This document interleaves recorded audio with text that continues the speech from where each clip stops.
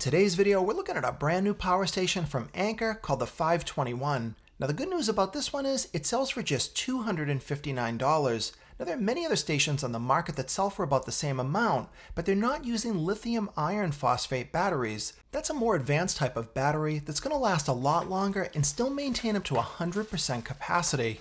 But that's not the only reason you'd want to consider this one, so let's look at some of the features to see what this thing can do. One feature so many companies cheap out on is the display. If you can't read the thing in bright sunlight, or maybe even get any good information from it, it's not going to be very helpful. But this one doesn't have any of those problems. You can read the battery percentage from across the room, and if you look on the bottom, it's also a smart display. Shows you the power going into it if you're charging it, and how much power you're using going out. And it also gives you an estimate of time, so you know how long you can use this thing before the battery is going to run out. On the front of the unit, you've got two AC outlets. Now you can use these with grounded plugs, regular plugs, or even AC adapters. Another feature they've included that a lot of larger units don't even have is that you can be charging the unit up and using power at the same time. And here I put that feature to the test. I plugged my Mac into the front of the Anker and then plugged the Anker's charging brick right into the wall. So now the unit can keep charged and run the computer at the same time. But if I should lose power in the house, the computer is going to keep working until the Anker's battery is exhausted. And if I just ran on the battery, I could run this iMac for about 8.6 hours before I ran out. And this built-in light doesn't have any special features, you just push the button once to turn the light on, push it again to turn it off, and this one just gives you a good quality ambient light. This would be perfect in a dark room or maybe even in a tent.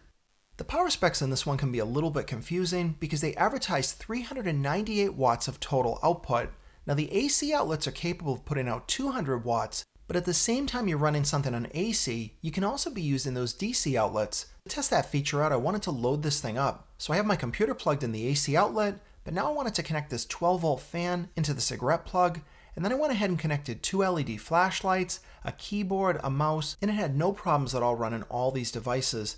The capacity of the battery inside the unit is 298 watt hours. That means you could run 298 watts for one hour. Now that doesn't sound like a lot of power, but when you look at smaller loads like this, you can run them for a surprisingly long time. The CPAP only uses about 35 watts, and even with this battery at 84% capacity, I would still be able to run it for about 5 hours. On the front of the device, you'll find three USB ports, two USB-A, and one USB-C that's capable of 60 watts of output. They've also got a switch that says power saving. Now when you turn that to the on position, you're going to see a little icon in the upper left hand corner. And when it's on, it'll automatically turn the device off as soon as your USB devices are fully charged. And when it's time to recharge the battery, this one gives you five different ways you can do it. The first is to use the included AC adapter, plugs into a regular outlet, and the other end goes into the back of the device. Now if you charge it using AC, it takes about 4.1 hours to go from 0 to 100%. You can also charge it up in the car or anywhere that you've got one of these 12 volt cigarette plugs. Now if you go this route, it's also going to take about 4.1 hours to get you from 0 to 100%. And you can also charge it up with a solar panel, can handle a maximum of 60 watts of solar input. Now this panel is 100 watts. Now this can be a dangerous game because if it hit the full 100 watts, I'd end up burning out that input port.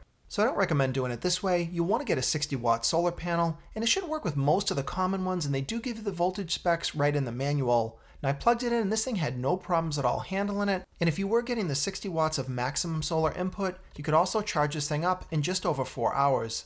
And the final two ways you can charge this up is directly through the USB port. Now this is really great if you're traveling because you can get rid of the AC adapter and charge it right through that USB-C port in the front of the unit. Now that's normally capable of 60 watts of output, but now you can charge it with 60 watts of input, and doing it that way you'll be able to charge this from 0 to 100% in 4.1 hours.